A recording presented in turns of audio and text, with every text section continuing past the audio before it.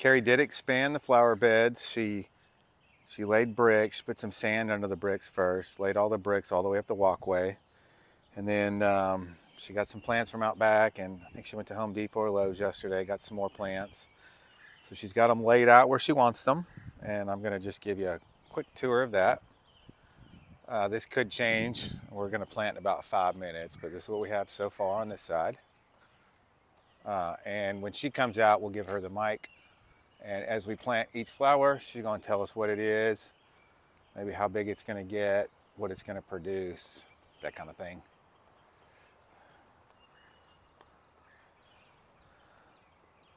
It's kind of the focal point of the front yard. Uh, for people that walk, drive by, they kind of they like this area. I think they like all the areas when they're in the summer once we planted everything and uh, it all take it all starts to bloom. So uh, yeah, that's that's what we got. I'm sure we'll move a few things around. But uh, here we go. Okay, I'm going to dig a hole, but I'm going to use my root slayer for that because uh, it needs to be a bigger hole. Okay, no, it's just there. It's going to get tilled into it as we dig and stuff. There was a hole there, so I was just filling in that hole, so we weren't stepping in it. Okay, first things first, I need to move this. It's not the same as this. So, whoa, whoa, whoa, no, don't just go after. I'll move it. no, get it. you have to be careful. You want to get a good root ball. So the leaves come out this far, so you want to come out that far. However big the leaves are, that's... You need for that? Yes, well, uh, yes, if there's one up there. If not, I'll use one of these when we empty it. It can stay for about two minutes or so. It'll be fine. All right. Well, it's a small root ball, so really don't need that big of a container. This came from C. Yep, that's perfect. That's actually the right size. You got oil in it? Or? Nope, no, I just need to hold it. Almost the right size. Almost the right size, but it, it'll be fine. Okay. I think that's a penstemon. Okay. Smush that back down. Okay, this is where I, I have it placed right now. This shrub will get about this wide woo, and a little taller. What is it? It's a salvia. It's a salvia greyi, white variety or white color. And so we're going to plant it there. So first things first, um, you want to dig a hole the same depth. In our clay soil, that's it. Go the depth of what that pot is, but go out wider of a hole. So the roots go out this way, okay? Okay. All right. Oh, this there might be a root under here. We might have to relocate it. Root won't kill it? No, I think the tree that we had removed and they ground down the stump, but they only went so far. So we might have to find a new location. You want me to do it? Yeah, but um, yes, that's fine. Just make sure that as you do it, make sure you look for sprinklers. We got sprinkle. There are pipes that run throughout our yard, and I never know where they're at. Get it right. Are those your good shoes? Okay. They're all. Here, let me move these plants out of your way. I know. I can figure out where they go just by looking at the other side. Oh, that's a grub. Mm-hmm. Sure is. Clay. Okay. Yeah, that's the root. The little roots I don't mind. I can get through those. Widen. Yeah, widen it. That's what it is. I'm just not heavy enough. And I just go around in a little circle. Once in a while, th there are rocks in the ground from whenever the builders must have put their building clay. You can step on those plants. They won't die. Now that root, you're not getting through. But that's okay, because I think that, yeah, it is. It sure is. It's plenty far. Because look, when we get it all up to it, we're going to put it up a little high anyway because we're going to mulch too. Grow through there. But the roots can go out wide. Okay. They don't necessarily always, they'll- roots find their own way. Oh, Yeah, okay. you're not going to get that root.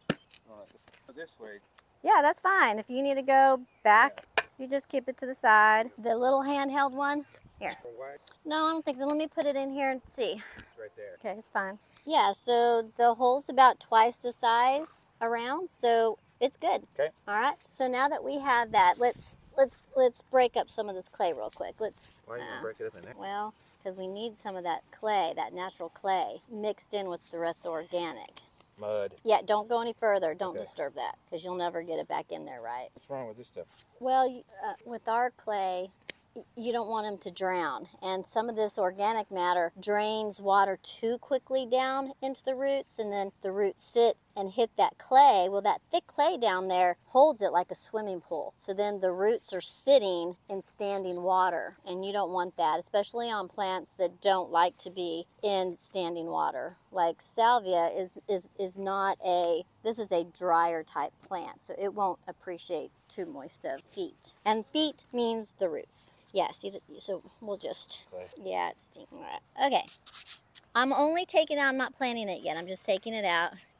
You're going to tap the sides a little bit just to loosen it up. You want to support it with your hand. So you get your hand in there to support it. You tap it upside down. Like I said, tap it. I'm not pulling on the plant. There's no pulling going on. I'm just wiggling it. Okay. So you see how the roots are very thick and spiraled around it. You can loosen them up. And if they're too tough and you can't loosen them up, what you can do is, let me see that one. This spade has the jagged edge and you can take the jagged edge side and you can actually just slice it, just slice them so that they won't keep going around in a circle and that's fine. And then and then put it in there and see if it is level, and that's a good height. But I'm going to now put some some bio starter, biotone starter plant fertilizer. It's stinky. Can't be as bad as the clay. I don't know. Did you get a whiff of it? All right. Looks like cat litter. Yeah. The other reason why you don't want to disturb that natural clay down there is because if you disturb it and then you put it back and then you put your plant on top of it and then you water, it can actually sink. And then when it sinks, then your plant sinks or if your plant doesn't sink then there's open space down there and then the there's too much air. So that's another reason why you don't want to disturb the natural clay thick clay, this hard pan, you can't even, you know, break it up very easily with your fingers. Although this must have been closer to the top. I could actually break this part up, which this is what we'll put back around the roots. Well, you don't want to put too much of just this thick garden stuff because it does hold too much water. That's why I said we don't want to do this hard pan because it's like molding clay. I'm just going to go around it and add some of the soil back that we dug up, but I'm not going to go all the way up. And then halfway up, I'm going to put some uh, time release fertilizer around the roots. Not that. Oh, piece of grass. Where'd that come from? Kind of short on that natural clay, aren't? Does that break up at all? This stuff smells so good. Okay, hold on one second. A little higher. Oh, there's all the clay. I was like, where'd all that soil go that you just dug out? Oh, but this is still that terrible clay. Terrible, terrible. Here's some. Here's some breaks down that can break up. I guess we're gonna have to use some of this because it is from the hole. Okay, I'm not all the way up. You see that? Okay. Now, I like to use this that I get from my local gardening or local nursery. MicroLife, multi-purpose 624. And it's just a, It's like rabbit petals. you mean rabbit poop pellets? Pellets. Yeah. I'm just going to give it a little around it and then I'll top dress too. But I just want some to be a little further down in the soil. It's funny because when you dig up a hole and you go to put it back, I find that with like the clay, it goes back and you're still lacking some because the clay just gets so compacted it shrinks up. Okay, now see I have it sitting up a little high. That's because I'm going to come back and put mulch up and I don't want to bury it in mulch. So I'm just going to this clay out here to dry out and then we'll break it with a hammer or something. So that's done. Gonna- You can dig, it's little. It's got a little root ball. You don't have to dig The purple thing you talking about? Hold on. This little purple What's thing. This is a Brazilian joyweed. It's an annual. It gets 16 inches high, 20 inches wide. It doesn't, yeah, you don't have to go very deep. Oh, you found that, uh, more of that root. That's good. That's good. Mix it all up in that. Here, put some of this in there first. This helps to feed the roots. Is it deep enough? Um, it is. Here, use your, you can use your kneeling pad and kneel right. I right. don't need that yet. Okay. Alright, I think it is. Like you're gonna put mulch, right? Mhm. Over all this? Mm-hmm. Okay. So you can squeeze the bottom, like help force it up. up.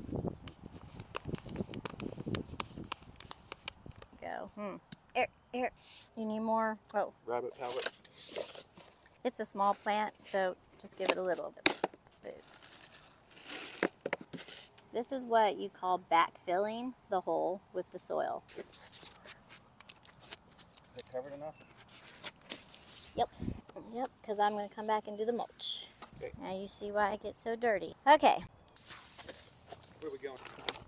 All right, put that over there for a second. We are going right here, and we are going to plant these angelonias. I they're just the blue variety. They look purple, but they're blue. Oh, they're called blue. Where? We're going to put them in a little triangle. They don't get very big, so we're going to doesn't matter. It doesn't have to be a perfect triangle, but so two forward, one back. Okay. And that's all you're going to do. And those are going to be the same thing. Yep, I actually put some more soil back, like some like some clay, because the, these you definitely don't want in the ground too deep. Don't want the wood in there. That's the mulch. That's the old mulch that's breaking down. Rabbit pellet? No. Oh, actually, you know what? Um, we're gonna plant that a little high because I have a lot of yeah. No rabbit pellets? No, I, I will. Give me one second. I'm gonna I'm gonna plant this a little higher. All of these are gonna be planted just a little high because that has more soil. Height is higher than over here. This is lower. So I don't I don't want to plant them too deep and then come back and because I need to add some more soil here. In fact, I'll just throw the stuff on it. Okay.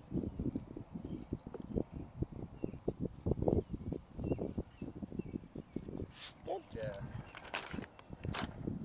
Need what? What did we miss? Which one? I already put that in there. You put both? Mm-hmm. Okay.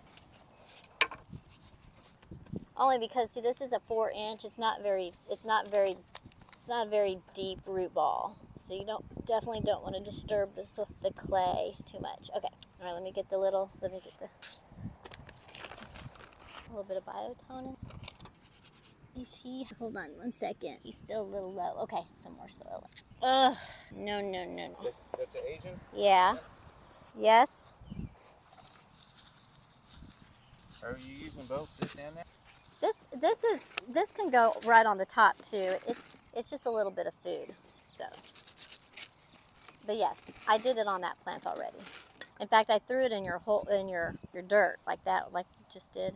All right, so watch the watch the spacing. You want to make sure that you're about the same. So like more like right here. Ooh, you see how your thing went down? That's that tunnel. All right, so we're gonna have to compact the soil a little. Don't want to go too. Ooh, another one. Oh, he's spinning like a log. It's okay? Uh, that was the tail and no satellum. So, all right, we got to go back with the soil. There's the clay because we don't.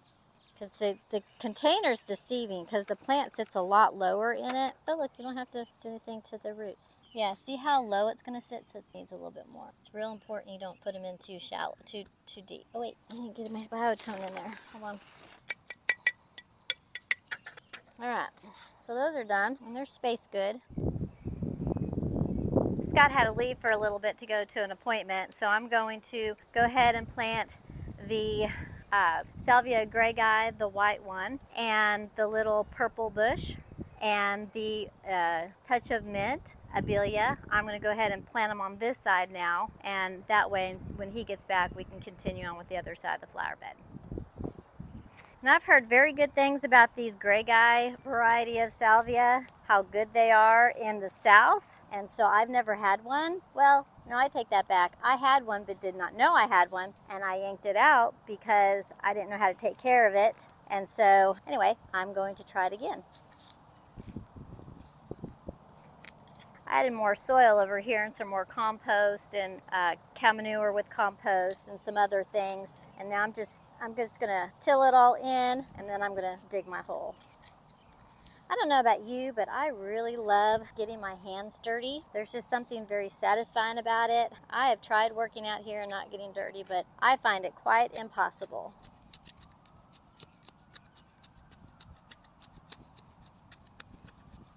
And I have a few reasons for going and doing all of this. One, I have a lot of walkers in my neighborhood and they really enjoy looking at the at the yard, at the flowers, and I like that they really take a lot of enjoyment out of it. And so it just keeps motivating me. And today was the first day that Scott has planted uh, a shrub. So I'm teaching him. He wants to learn, and so I'm going to teach him. It does require a lot of patience because he's not as far al- along in the process and the knowledge and all of that as I am.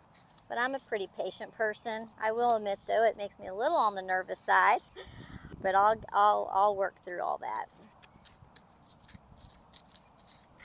I like to make little mounds around the circle of the hole that I dig. That way I can just easily push it all back in. Add a little of this aggregate that I poured over here, just so that when I push it in there, there's a little bit of other organic material instead of just my normal clay.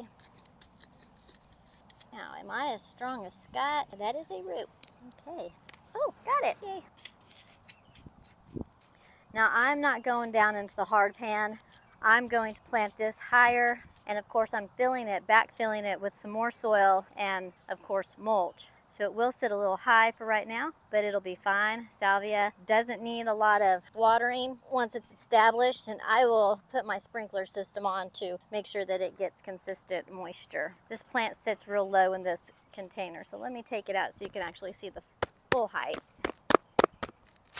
And if I move my little pile away, you'll see that once I add some more uh, mulch and everything, it'll come up to its good height.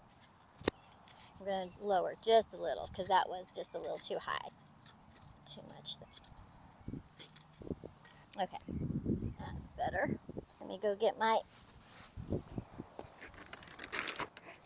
I do have another root here and I, I need to cut it because it's in the way of my pulled up my monkey grass when I did that, and that's why I was going to cut it, but it actually pulled out. So, put all that back around. Okay.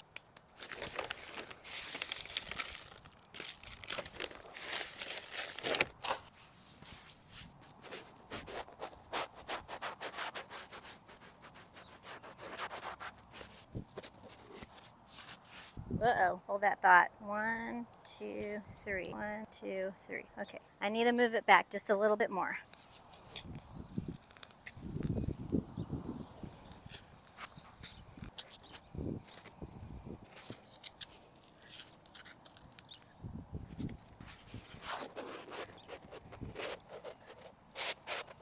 Now I'm backfilling. It's at the height that I want. This is how much above the soil level that I left it to make room for the mulch so that I can bring the mulch up to it. It's a pretty little plant. All right, now, now that I have got the salvia in the ground, now I'm going to put in this little Brazilian joyweed. I also know it as and Anthera, Anthurium, maybe, Anthurium, or another name brand, I guess, of this variety would be Plum Dandy. Um, but anyway, I've grown this before. It can get, you know, about two feet tall. This says that it only gets 16 inches tall, but mine, they've gotten a lot larger. So I'm putting it next to this. I think it'll be very pretty. So let's get it in the ground. And I think I have it, move this a little, and I think I have it about this distance.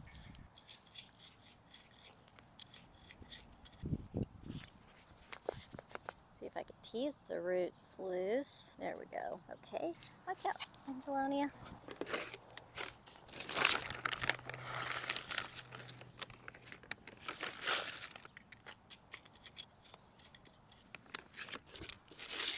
I did not put that around the salvia, so let me put some of that on the salvia before I mulch up over it.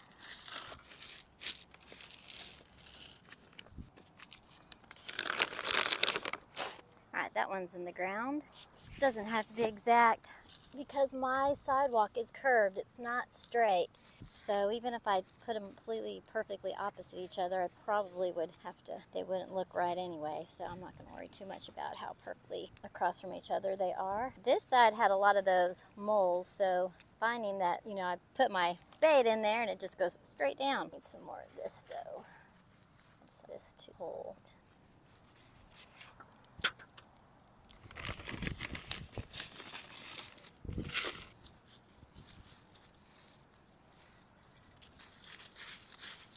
I'm going to add some more soil here, but I don't have any, so I'll have to run to the store and get some more soil. And when I do that, I will probably raise these up again. Hear that person's telephone. I don't want the wood, the mulch getting in my holes. I'm not worried about the nitrogen and all that. I'm more worried about it holding on to the moisture in a way that I'm more worried about it holding on to the moisture in a way that causes it to. I'm in a little closer. Let's do that again. That's better. It's a better distance.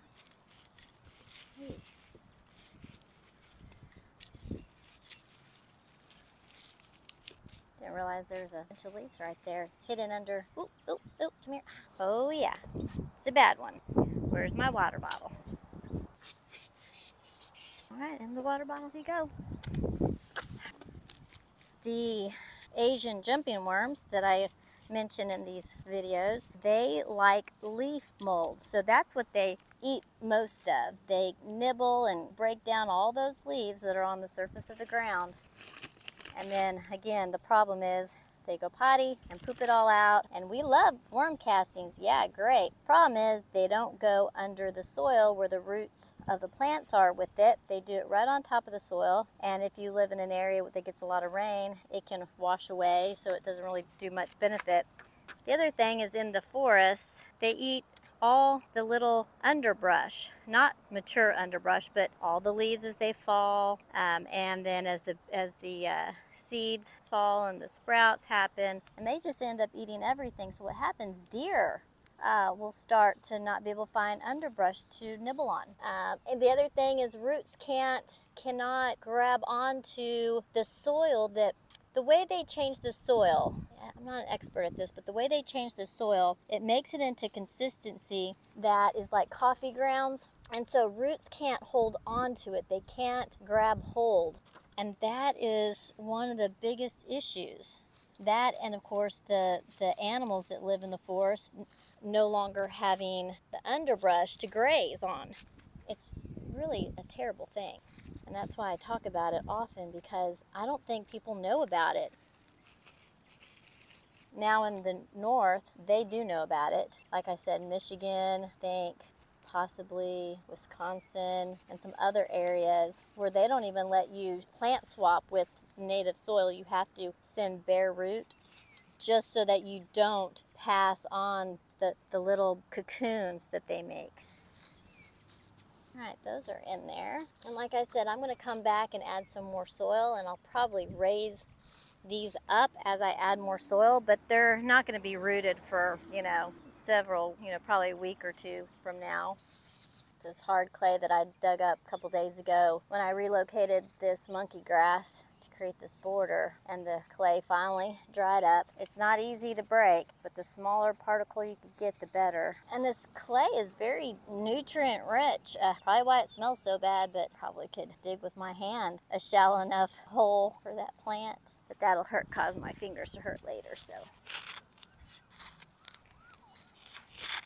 once in a while when I'm digging in my yard I find the oddest pieces of concrete just once in a while and I wonder if like when they were building the house and doing the grading the, the land because our house does sit up higher than the road and the yard does have a very slight slope not nearly as well I guess it's probably the same as the neighbor across the street but Anyway, every once in a while I find these pieces and it's like they're like, well, just throw it in there. We'll cover it up. Don't worry about it. Anyway, so once in a while I find a stone. Hmm.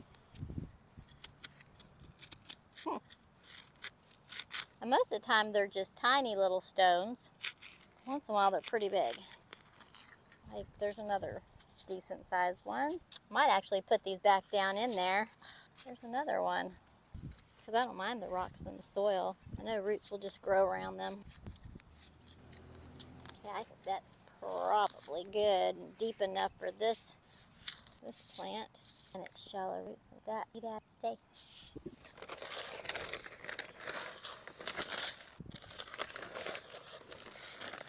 I'm surprised it took Scott such a long time to smell the biotone.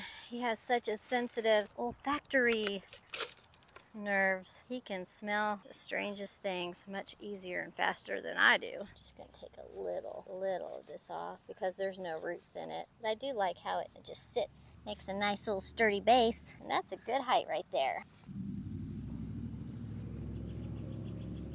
I bought other Abelia. They're very slow grown, and maybe it's me. I'm not sure. They don't grow very fast.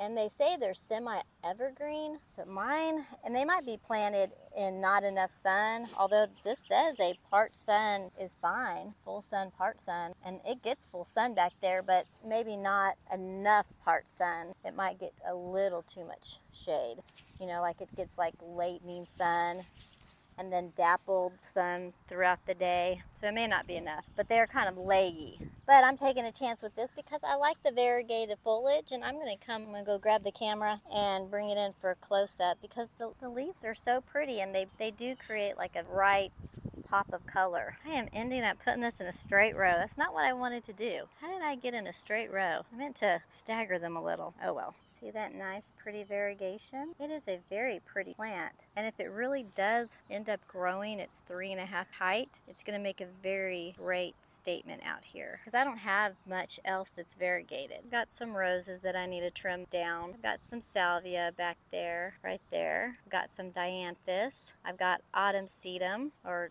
sedum autumn joy. And I've got some, var I do have some variegation, that grass, but you can't see it very well because those roses are just taking it over. But they are variegated. This is all my work stuff. But as you see as I go this way, there's not a lot of variegation. I do have the Dusty Miller, which is adding some nice contrast, but nothing else is variegated out here except for that other little mint that we did, Touch of Mint Abelia.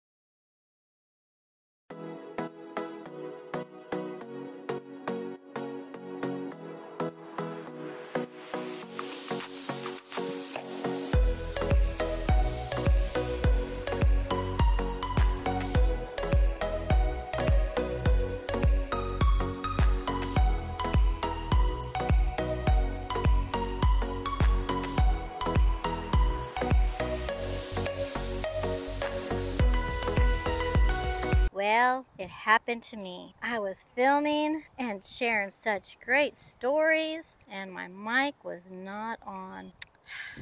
Well, it happens to us all.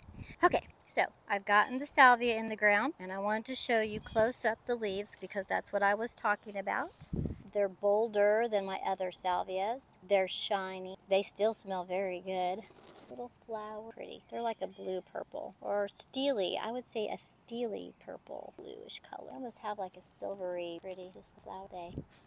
And then I want to show you how much root ball I left because I am going to put the two inches of mulch a yard or on this flower bed. Okay, and then here is the penstemon. Again, it's called Dakota Burgundy. And I love that it moves in the wind, but I told you I was going to give you a close-up. Let's see if I try to focus on how pretty that throat is in there. Let's just say, come here, hummingbird. You can see if I get from the top of it, you see how the backs are the lavender color, then the fronts are more light white. The little buds are a yellowish, almost like a chartreuse color. Very pretty.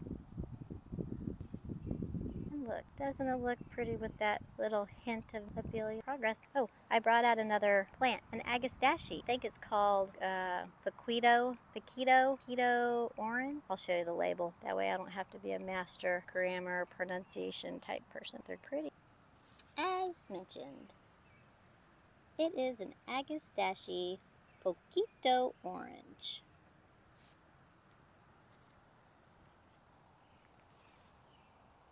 And isn't that so pretty? Even though it's orange, it's not hot orange. It's got a, like a almost a tangerine soft orange. I just think it's so pretty. I do believe the flowers are good for birds. They are they might they are tubular, but butterflies might enjoy them more.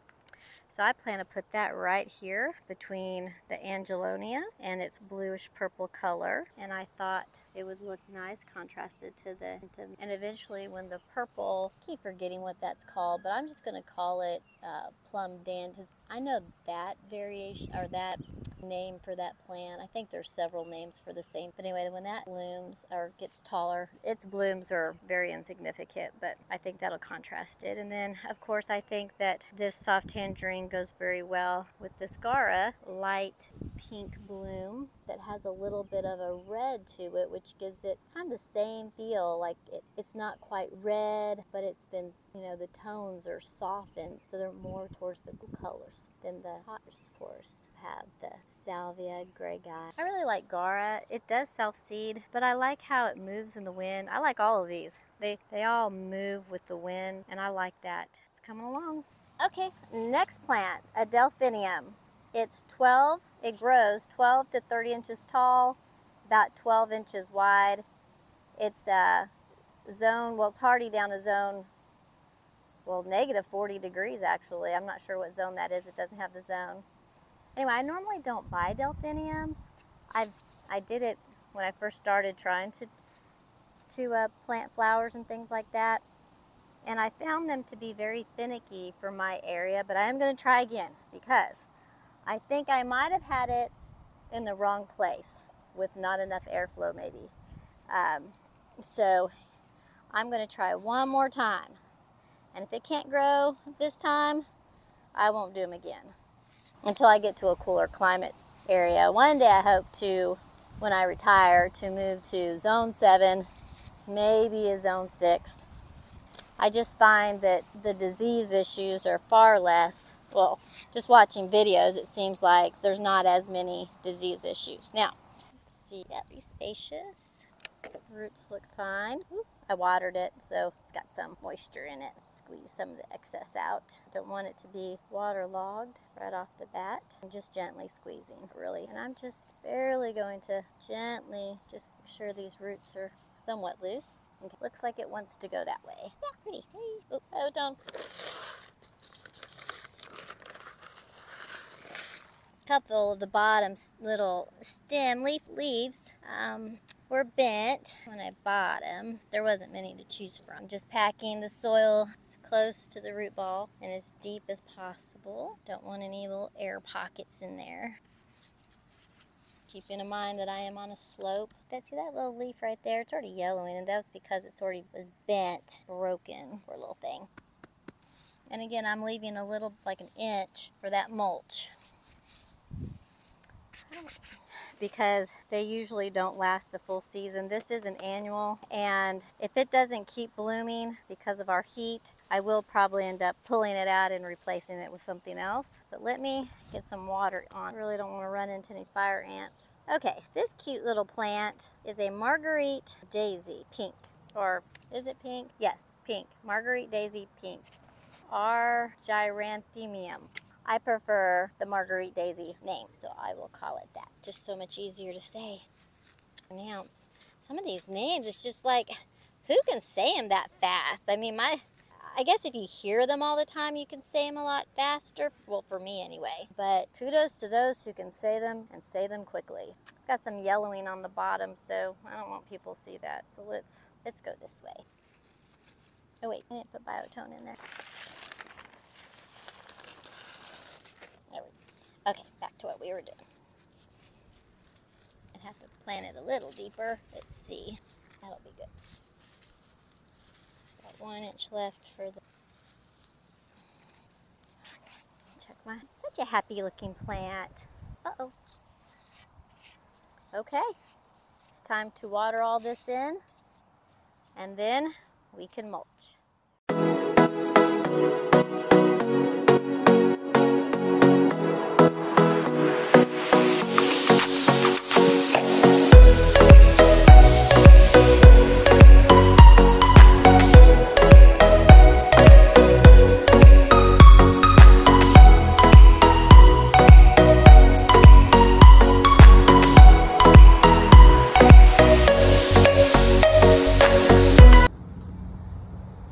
A wrap today. If you want to see the before, before we widen the flower beds, and the after, check out our YouTube channel, Garden Mess, and uh, we'll post a we'll post a, an extensive video.